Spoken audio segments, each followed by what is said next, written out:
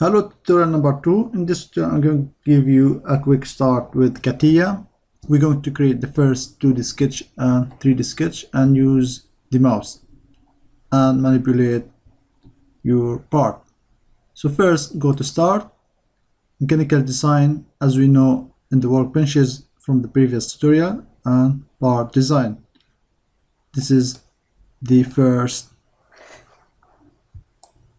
workbench for beginners or the most or for the starting of sketching. And here you can give it a name. First part. Okay. And now we are in this workbench. And you can notice the tool set here which are for the part design tools. So now we have the interface. We already changed the background color. We can do it from tools options and here from display and visualization. Can change the color you want. Okay. So now we have this color if you notice on the part interface you have the part tree first part and you have three different plane where you can start your sketch.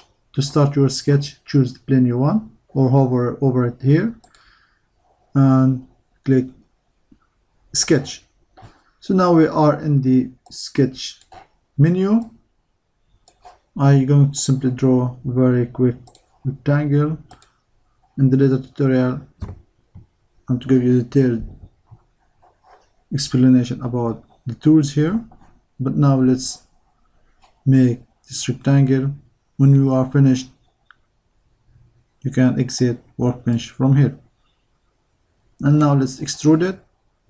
It's called pad in CATIA and just simply press OK now I'm going to show you how to use the mouse.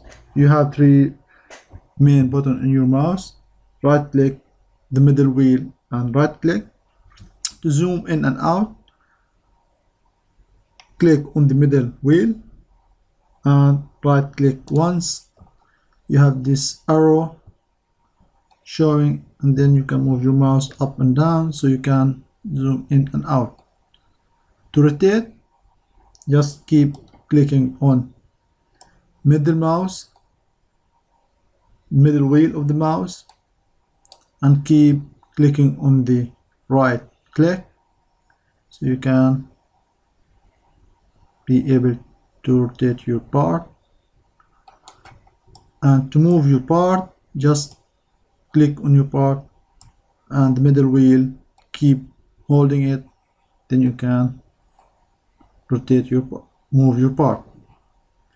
Even you have another set to manipulate your part from the compass here on the top if you choose this face so you can move your part on that face direction.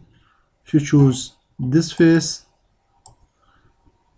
or this edge circle edge so you can rotate your part in that direction if you choose that you can rotate in that direction. Here you can rotate your whole part if you choose this edge and so on. This is a very helpful tool the compass.